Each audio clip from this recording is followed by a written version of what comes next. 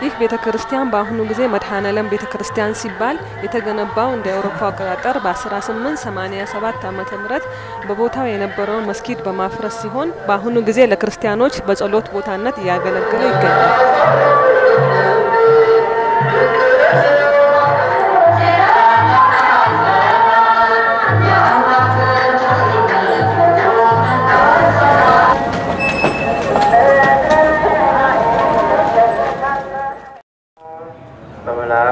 በቅዱስ ገብርኤል ሰላምታ ሰላም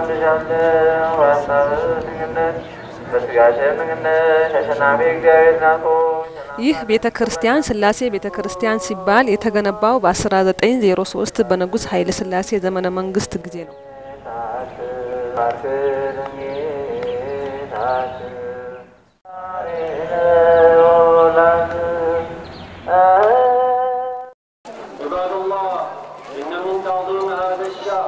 صومه وصوم تاسعه وعاشره عن أبي قتادة رضي الله عنه قال ይህ መስጊድ ጁምአ መስጊድ ይባላል።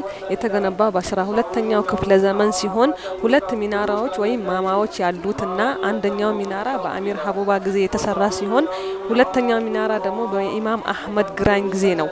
ወደ ስምንት መቶ ዓመት ዕድሜ ያለው መስጊድ ነው። قال سئل رسول الله صلى الله عليه وسلم أي الصلاة أفضل بعد المكتوبة قال الصلاة في جوف الليل. قيل ثم أي الصيام؟